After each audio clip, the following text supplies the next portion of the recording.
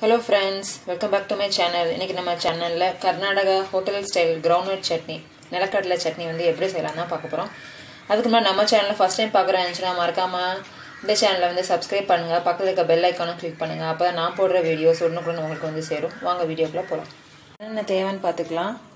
முக்கால் கப் அளவுக்கு வந்து தேங்காய் எடுத்திருக்கேங்க. அதில் சின்ன சின்ன பீஸாக கட் பண்ணி வச்சுருக்கேன். இந்த ஒரே ஒரு கையளவுக்கு வந்து கடலை வறுக்காத கடலை அதை வந்து வறுக்கணும். அது எப்படி வறுக்கணும் உங்களுக்கு காமிக்கிறேன். இது கொஞ்சம் போல் வந்து கொத்தமல்லி ஒரு பூண்டு கொஞ்சம் புளி ஒரு துண்டு இஞ்சி ரெண்டு பச்சை மிளகா. நீங்கள் சின்ன பிள்ளைய சாப்பிட்றா ரெண்டு போதும்.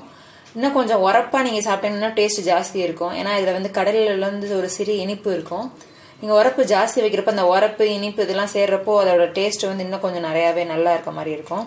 இதை வந்து லைட்டாக வந்து வறுத்துக்கலாம் இப்போது இப்போ சட்டியில் வந்து ஒரு சின்ன ஸ்பூன் அளவுக்கு வந்து எண்ணெய் ஊற்றுன அளவுக்கு ஊற்றினா போதும். இந்த அளவு ஊற்றினா போதும்.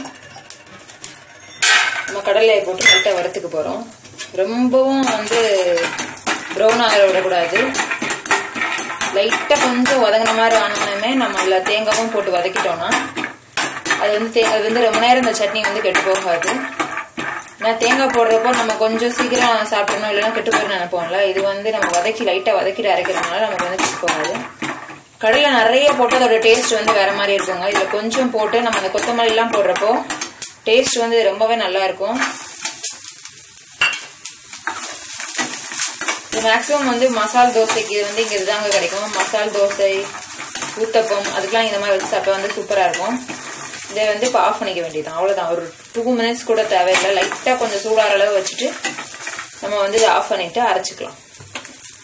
இப்போ இதில் இந்த அளவுக்கு உப்பு போட்டு நான் வந்து மிக்சியில் போட்டு அரைச்சிட்டு வந்துட்டு போகிறேன்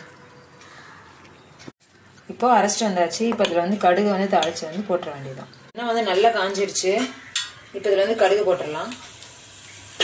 கடுகு வெடிச்சதுக்கப்புறம் நான் இங்கே வந்து கருவேப்பிலையை வந்து நான் அந்த மிக்சியில் சும்மா ஒரு சுற்றி சுற்றி வச்சுருக்கேங்க. அதை வந்து இதில் போட்டுருவேன் இப்போ வந்து ஸ்டவ் ஆஃப் பண்ணிட்டேன். அதை வந்து மிக்சியில் வந்து அரைச்சி வச்சதோட நான் வந்து போட்டு மிக்ஸ் பண்ணிட்டேன் அவ்வளோதான் இப்போ இந்த மாதிரி நம்ம கருவேப்பிலை இப்படி மிக்சியில் ஒரு சுற்று லைட்டாக சுற்றிட்டு நம்ம வந்து போட்டோம்னா நம்ம குட்டி குட்டியாக கட் பண்ணுறதுக்கு வேலை மிச்சம். இன்னொன்று இந்த மாதிரி கட் பண்ணி போடுறப்போ பசங்க யாருமே அதை தூக்கி போடாமல் அதை சாப்பிடுவாங்க.